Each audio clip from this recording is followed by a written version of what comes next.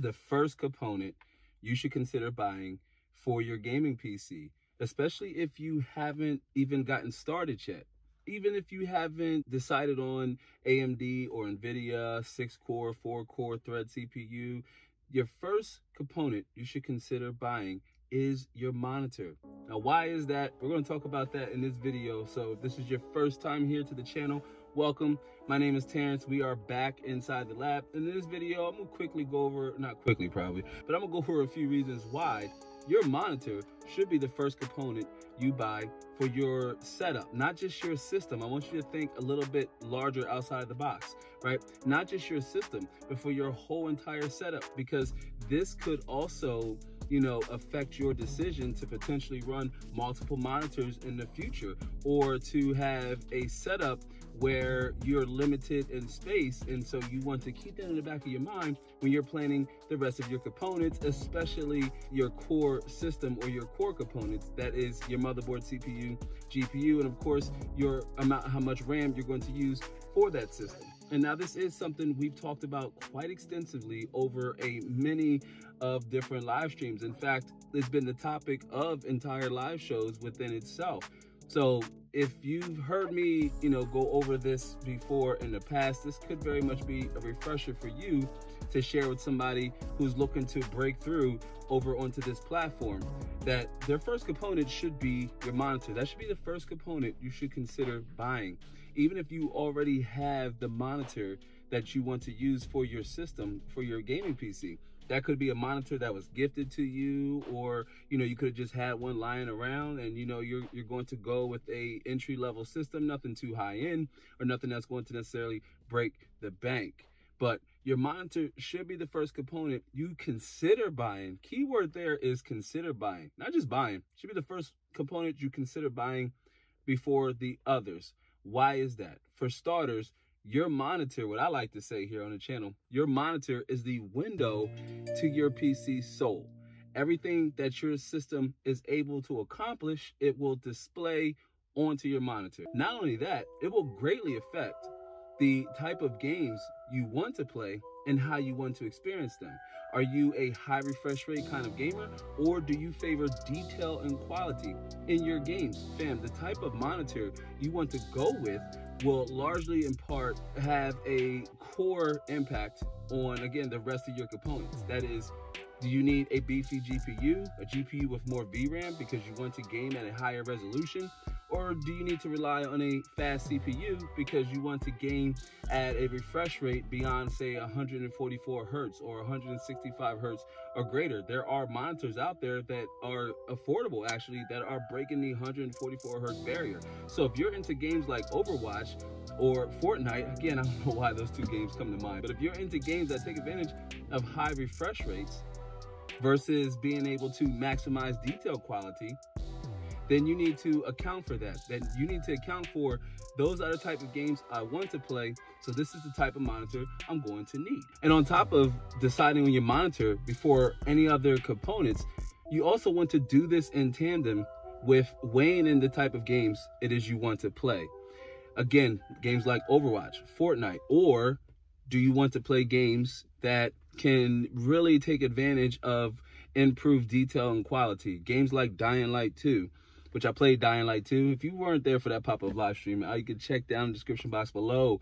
I always plug the basement, what we call the basement here and inside the lab, but I always plug the base basement. A lot of helpful content to either get you started, or if you're a regular subscriber here, of course, to get you caught up along your way down there. You might even come across the membership link to, for you to consider becoming a channel member and supporting the channel in that way. It's greatly appreciated, but regular videos come out all the time. So if you're not subscribed yet, but understanding the type of games you want to play and how you want to experience them will help you make a better decision with purchasing the right monitor for your setup. One that you won't necessarily have to upgrade anytime soon or in the near future because the games will change, the hardware will change, but the resolution and refresh rate you want to game at will relatively remain the same. If you want a game at 4K, 60 FPS, or you, want your system to have an output of 60 FPS, or you want a, a 60 hertz 4K monitor, then you know you're going to need a decent quality GPU with today's game standards, some of the most popular games that, that have that have came out within the last year, for example, you may need a graphics card that's exceeding the eight gigabyte VRAM allotment, right? You might need a graphics card that's in the 10 gigabyte, uh, you know, realm, simply because even with turning the graphics down, you're still going, you still, the GPU will still need to account for those higher resolution textures. So it will be taxing on your VRAM. And then also at 4K, your CPU is a factor, not a significant factor, but your CPU still will play a role that's processing any AI or any simulation based graphic settings. So when you're considering, say, gaming at 4K, then your first or the component that you want to put the most attention to or invest the most in would be your GPU, would be your graphics card, which at the time of shooting this video here in 2022, graphics cards are still slightly expensive if you're stateside or if you can get to a micro center or you even got to connect here in the States you know, if you're stateside, Micro Center does have a lot of different entry-level GPUs available. They even have a few 6900 XTs. I've been checking, you know, not just the one that's closest to me, but I've been checking other Micro Centers as well. But there are modern graphics cards that are capable of running that resolution, running 4K, that you could buy right now in a retail store and not necessarily have to deal with the scalper tax. But then say you don't want a game at 4K. Maybe you want a blend of both high refresh rate and higher level of detail. Say that's exceeding 1080p. Two of the most popular resolutions, or I guess that's becoming more and more popular, is 2560 by 1440p.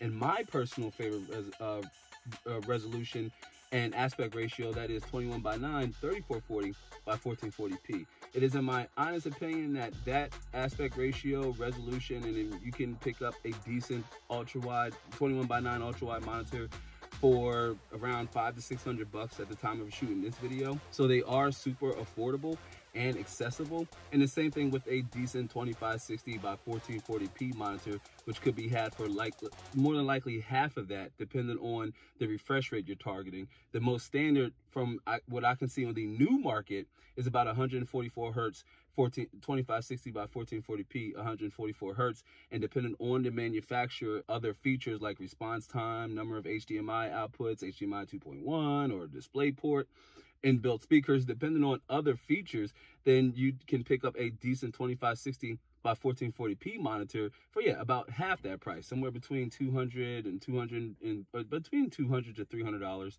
is a, a, a, good starting point if you want to find yourself in the middle or a resolution and refresh and a resolution and a decent refresh rate that's going to complement a core of the games that are available and what most of us pc gamers like to enjoy.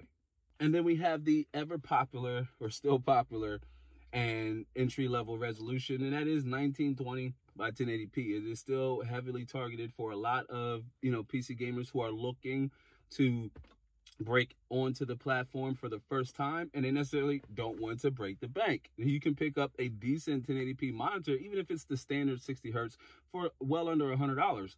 And even if you want a higher refresh rate at 1080p, you could pick up a 144 hertz monitor in most cases or most instances depending on where you are located here on the globe you could pick up a 144 hertz monitor for under 200 USD or slightly over 200 USD. You have 165 and 265 hertz options should you really want to break into, say, a community um, a, a, community, uh, not community, but a competitive like ecosystem to where you want the you want to gain as many advantages over your opposition as possible. One way that you can do that, or one way you can achieve that, is putting a considerable a considerable amount of thought into the type of monitor you want to buy or you want to run your setup on your your you know your base system. If that's 1080p, you likely have, or if that's a 1920 by 1080p monitor at standard 60 hertz, you have a lot of flexibility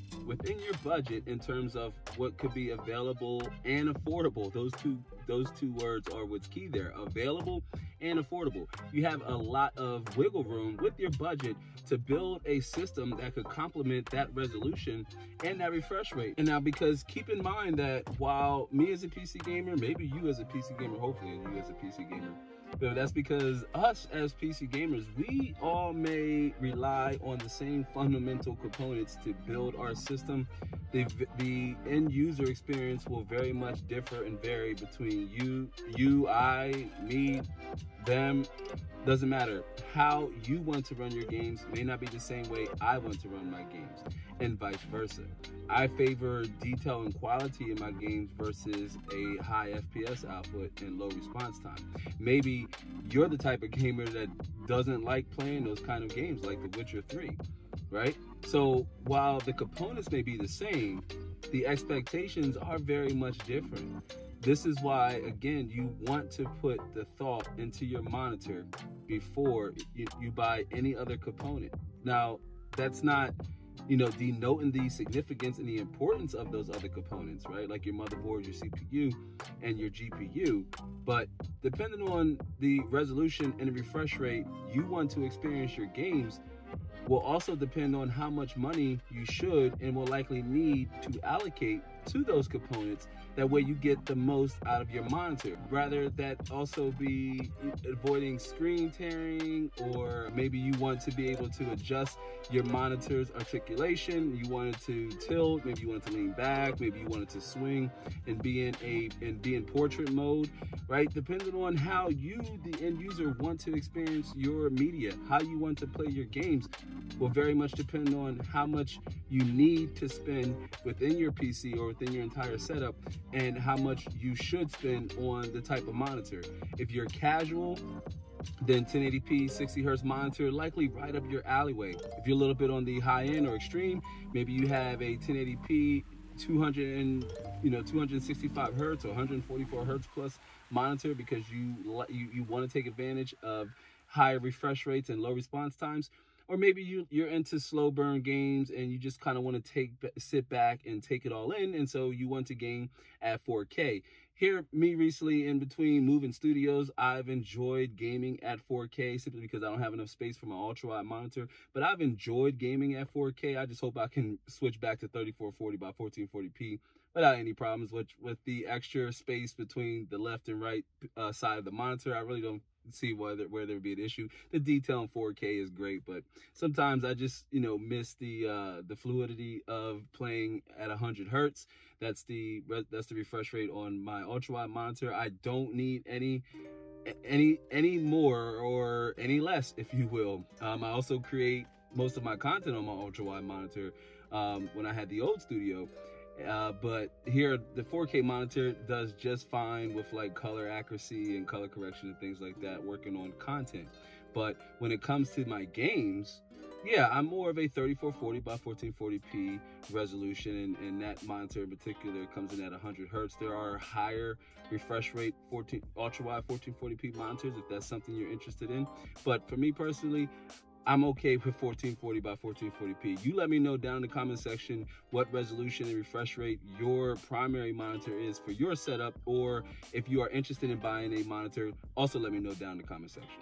And then if you're considering running your games at a higher resolution than 1080p, say 1440p, like the aforementioned resolution that I kept talking about, like 1440p, or even 4K, 3840 by 2160p. If you're in the ballpark of wanting to experience your media and experience your games at either one of those two resolutions, then know you will need most likely a beefy GPU, which you will find yourself spending on up to or onward of at least $600 or more, at least in the current landscape and the current climate of uh, what graphics cards are selling for. Again, there are some in Micro Center, so if you can get the Micro Center, go, go now, go, go. Like like this video first and, and then go. Go ahead. I'll be here all in all, you might be saying, you know what, Lab, that sounds good and all, but I've already bought my GPU. I've already bought my motherboard and my CPU because I got it on a bundle deal, or I snagged the GPU when I was in a micro center and had my hands physically on one. That's okay too, fam. If you already bought, you know, other components, if you already purchased your motherboard or your GPU, you know, your case notwithstanding, that's only that's going to have a minor impact on performance, more so on your system's ability to move hot air out and to pull cold air in. But for the components that have the most effect or the the uh, the, the highest impact on your FPS output. Even if you've already bought one or two or more of those components already, that's perfectly fine, fam. I don't want you to make it feel like, oh, I've made a mistake. Lab said buy your monitor first. This needs to be the first component you buy. If you've already bought those components, that's okay too, fam. I would then start with looking at the type of games you want to play and then proceed to make your decision on your monitor based off of your findings, right? If that's games that you know aren't super graphically demanding, or you bought a lower end graphics card, say that's under six gigabytes of VRAM, or if it has eight gigabytes of VRAM, surpassing 2560 by 1440p is really going to be pushing the limits on what can be considered playable. And even then, you may have to find yourself lowering some of the graphics settings, which at that case, you're just getting more pixels, but you're also sacrificing detail and FPS. So if you've already purchased, say, your CPU and your motherboard, right? Maybe you have a 11th generation i5 or an, a 12th generation i5 or maybe an older 8th or 9th generation CPU. Regardless of the generation and the chipset, if you've already bought it, start again looking at the type of games you want to play. Decide on, will I need a faster GPU or a GPU that has a certain amount of VRAM. Some games, most games do have VRAM limitations, so you want to keep that in mind when you're looking to buy, you know, your GPU if you already bought your CPU and motherboard. And if you already bought your GPU, also consider that at certain resolutions, you want to avoid any potential bottlenecks. So if you have a fast GPU, you don't want to invest in a slow CPU and then game at 1080p. You will be leaving performance on the table in the form of a potential or potential bottlenecks in the, in the games you want to play. But again, your experience starts and it ends with your monitor. It starts with your monitor because that's the first component you should consider buying before any of the others. It ends with your monitor because once your system is already built for you, or if you've done it yourself, or you bought even a pre-built PC, right?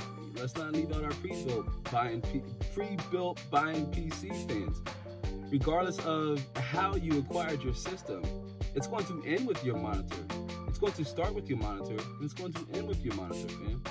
It's going to start by picking out, you know, basing your monitor off of your needs and expectations, how you want to play your games, how you want to run your games, how you want to experience your games. And it's going to end when you go to sit down and game, when you go to plug in the HDMI cord for the first time, or the display port for the first time. So that's why it starts with your monitor and it ends with your monitor. Without the way, that's all I got for this one, fam. I brought to you again another inside the car, inside the lab video. I've been uh, mobile here a lot, so I've been just trying to find times in between here to shoot some updated content in between and get back to our regular weekly uh, weekly uploads, whatever the format that may be. I'm more of a person that's into content value versus production value. So long as I look good, sound good, that's okay. But most importantly, the message needs to be what is the most important when it comes to producing videos. But without the way, again, I welcome you to head down description box below for additional content that again can help you get started or to help that can help you get caught up with more inside the lab content. I do hope to catch you on the next one or on our weekly live streams that, that are every Saturday loosely. and our upcoming channel membership, uh, Live XE, the Live Extended Edition for channel members. Either way, I do hope to catch you all in the next one. So until then, be easy.